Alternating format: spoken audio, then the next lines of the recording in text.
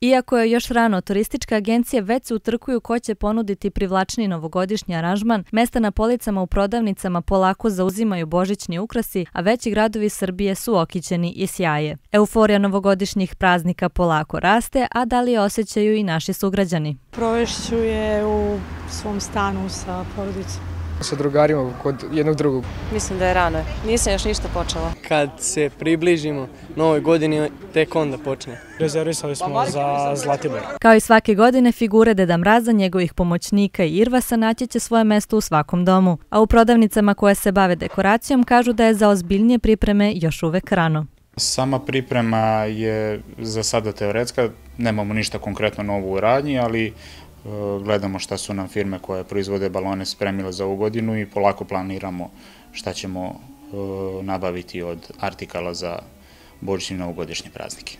Novogodišnjom rasvetom Stara Pazova biće okićena od 1. decembra pa sve do kraja januara. A s obzirom na to da ukrasi nisu jeftini, sredstva koja bi bila utrašena u te svrhe biće preusmerena na korisnije stvari za građane, kao što su, na primjer, novi kontejneri. Mislim da mi nećemo ništa nabavljati u ovoj godini e, ni trošiti sredstva na to. Mislim da je bolje da sredstva potrošimo u nekom drugom pravcu.